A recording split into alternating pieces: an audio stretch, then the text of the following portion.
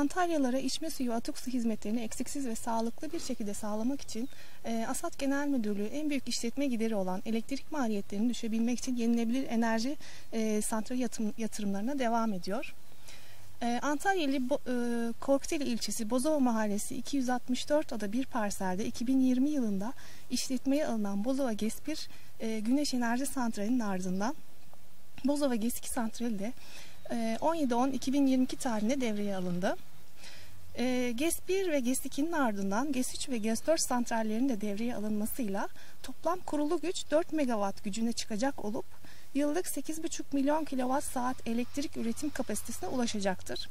Bu da 2400 adet konutun elektrik ihtiyacını karşılayacak kapasite anlamına gelmektedir.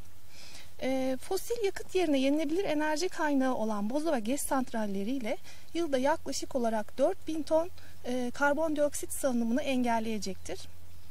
Hmm, bu da yaklaşık 360 bin adet ağacın bir yıldaki karbondioksit emilimine eşdeğerdir.